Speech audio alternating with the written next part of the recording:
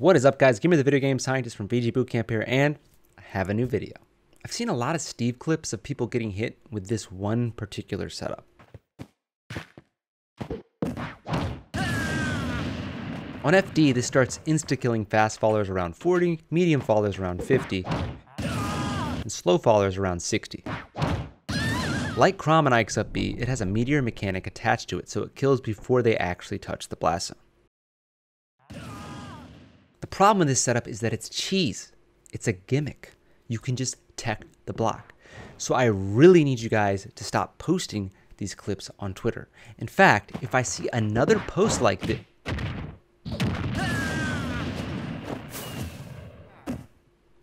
Oh.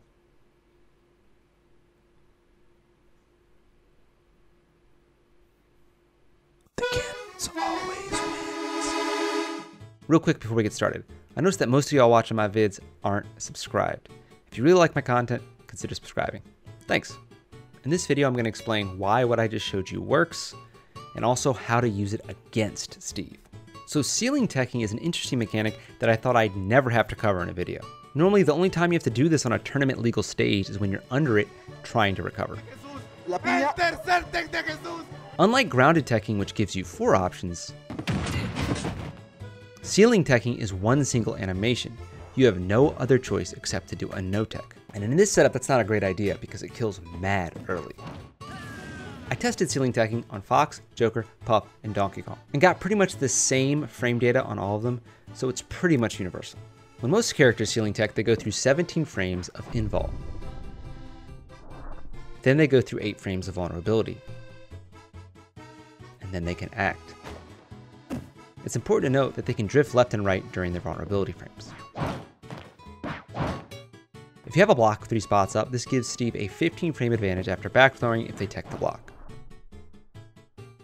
This combos into a lot of things. Jab, forward nair, backward nair, walk forward up tilt, dash attack, down tilt if they're close enough or not too floaty, dash up smash, down smash if they're close enough or aren't too floaty, forward smash, and you can spike with fair if you space it correctly. This basically means if they're a back throw block kill percent and you back throw them over the ledge into a block, they'll die if they don't tech. And if they do tech, you can punish them hard. And if your weapons are upgraded, you punish them even harder. And even if your combo doesn't kill them, you can set up for edge guard and try to secure the kill.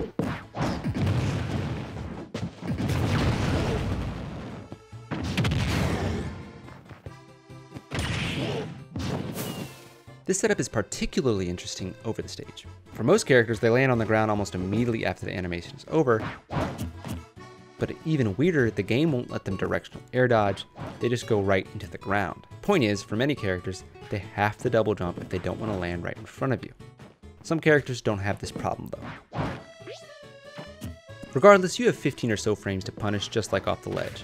It's guaranteed. That being said, if you're playing against Steve and they go for the setup on stage, you might as well just take the hit.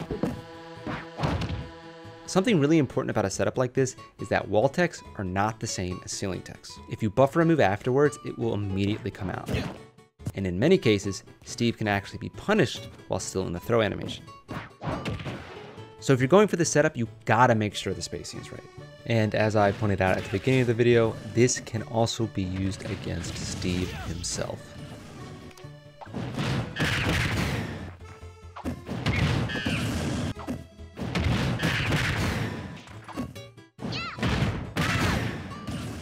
Oh, and by the way, you can do this out of other stuff too, not just throws, so it goes pretty deep. That's the video. If you like it, consider giving it a like. If you really like it, consider subscribing. And if you really, really like it,